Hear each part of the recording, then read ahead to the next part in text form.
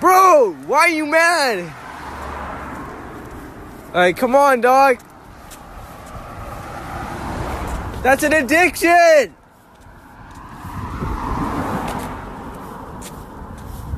You're gonna get cancer and die. Please don't do that, sir.